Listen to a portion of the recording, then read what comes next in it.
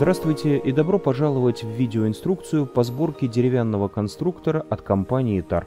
В этом видео речь пойдет о модели Invader, копирующей внешний вид современной концептуальной винтовки, которая была разработана в России в 2009 году. Сборку начнем с того, что внимательно посмотрим на коробку и ее содержимое. Конструкторы фирмы Tark изготовлены из экологически чистого дерева и упакованы в коробку из плотного картона, запечатанную в целлофан. Это исключает потерю деталей при транспортировке.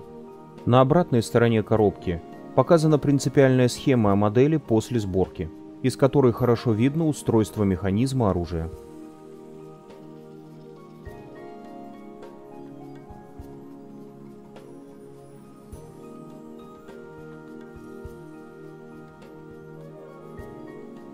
Откроем коробку и изучим ее содержимое. Открывайте коробку аккуратно, не торопясь.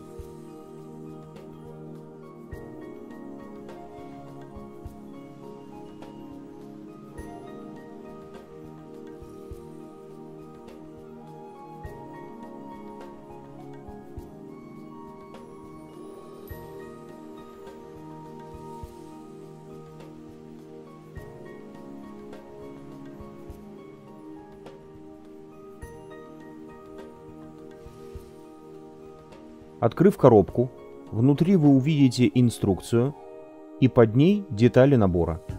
Обязательно внимательно изучите инструкцию и прочтите ее до сборки. Обращаю ваше внимание на то, что последовательность сборки при желании может быть изменена, но только опытным моделистом. Старайтесь придерживаться шагов, которые описаны в инструкции.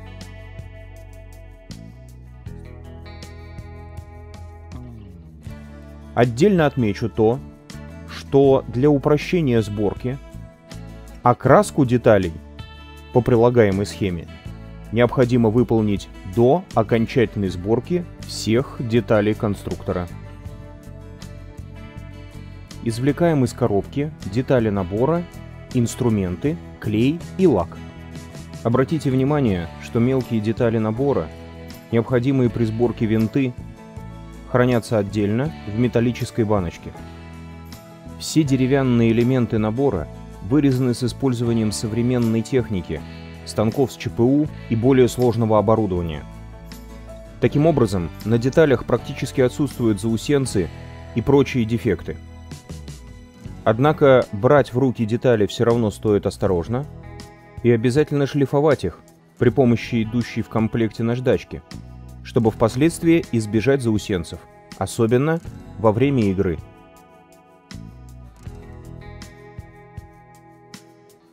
Начнем сборку конструктора. Детали в наборе достаточно крупные, поэтому вы можете при сборке извлечь их из коробки сразу все. Однако, если на вашем рабочем столе мало места, лучше держать детали внутри коробки до завершения сборки конструктора.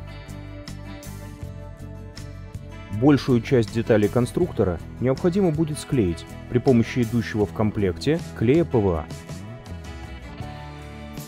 Многие детали крепятся и устанавливаются при помощи специальных деревянных штифтов. Если использование такого штифта необходимо при сборке деталей, при приклеивании обязательно убедитесь в том, что этот штифт входит в соответствующее отверстие без каких-либо проблем. При желании вы можете использовать свой клей – Однако преимущество клея, идущего в наборе, в том, что он достаточно быстро высыхает. Это упрощает сборку.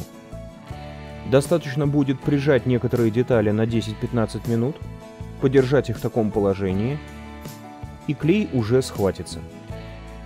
Обращаю ваше внимание на то, что некоторые детали необходимо будет фиксировать. Для этого можно использовать модельные зажимы, струбцины, или, например, банковские зажимы. При использовании банковских зажимов будьте осторожны. Обязательно прокладывайте что-то между ними и моделью. В противном случае они могут оставить на деревянных поверхностях вмятины. Наносите клей ПВА при помощи идущей в комплекте кисточки. Старайтесь наносить клей равномерным слоем, также не бойтесь того, что при надавливании немного клея может вытечь. Это не страшно. Излишки клея можно убрать при помощи бумажного платочка, салфетки или при помощи тряпочки, которая не оставляет ворса. Как показано в ролике, обязательно проверьте, симметрично ли вы приклеили оптический прицел. Для того, чтобы механизм действовал, его необходимо соединить при помощи резиночек. Идущие в комплекте резиночки достаточно прочные, однако в случае их повреждения вы можете легко их заменить. В качестве альтернативы вы можете использовать банковские резиночки, которые продаются в любом канцелярском магазине. Однако они длинные, и при использовании их нужно будет сложить восьмеркой. Для того, чтобы уменьшить риск стирания резиночек, необходимо сошлифовать все острые углы, которых они могут касаться. Причем не только изнутри, но и снаружи. Для этих целей среди инструментов в наборе есть напильник. Как я уже отмечал ранее, окрашивать детали набора мы будем до сборки. Окраска будет производиться при помощи прилагаемого к набору водорастворимого лака.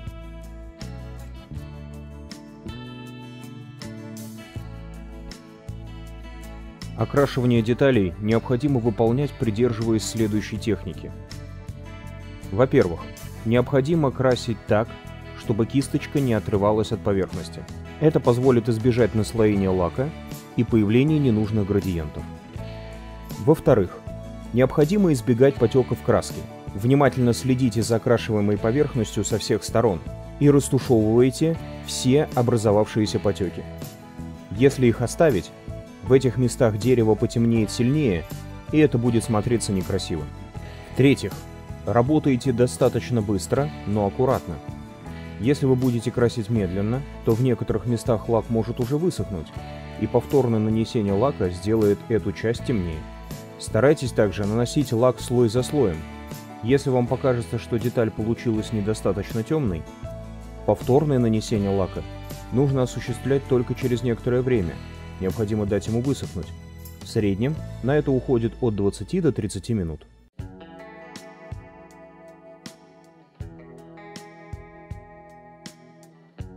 Некоторые детали нужно будет окрасить лаком лишь частично.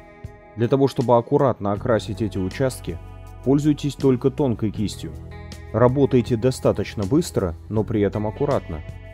Помните, что излишняя спешка может повредить результату, Наносите лак сначала возле границ окрашиваемых участков, а затем в центре.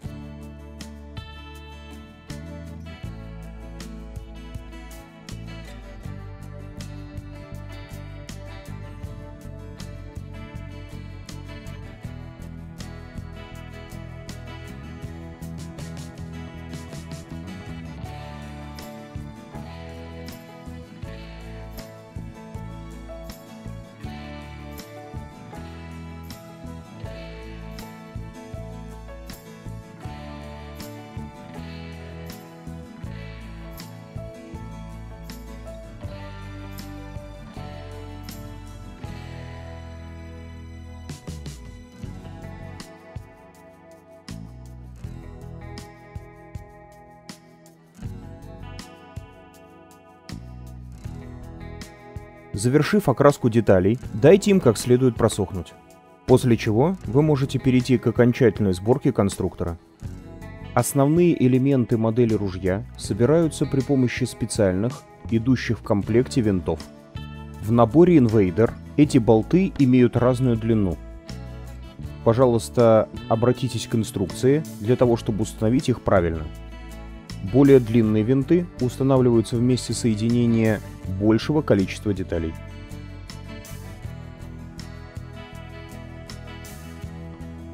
В конце собираем механизм оружия.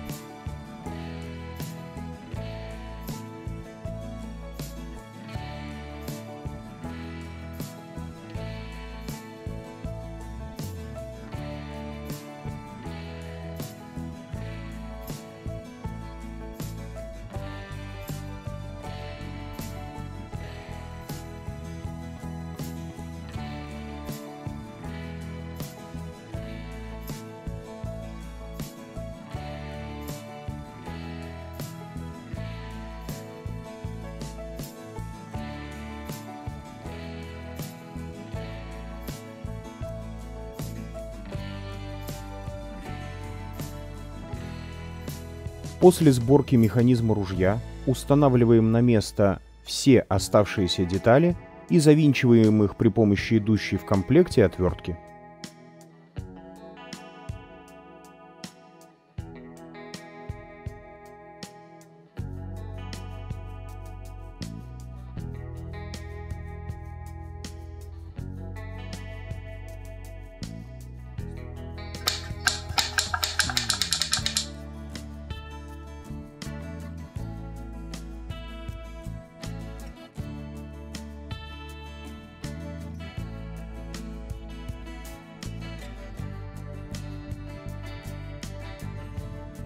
Последний этап сборки модели Invader — установка оптического прицела.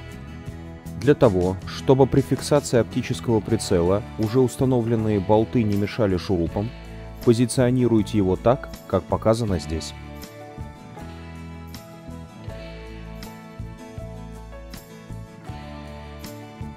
При желании вы можете дополнить готовую модель ремнем из хлопка, который идет в комплекте.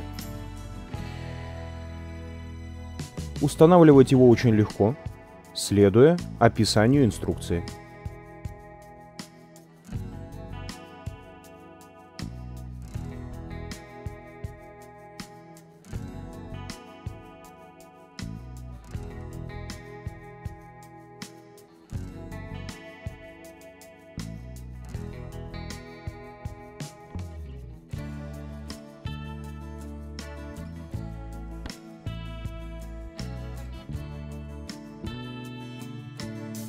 После установки всех мелких деталей и окончательного высыхания клея вы получите собранный конструктор. Надеемся, что сборка у вас получилась и доставила вам удовольствие. Следите за анонсами новых конструкторов, подписывайтесь на канал. Всего доброго!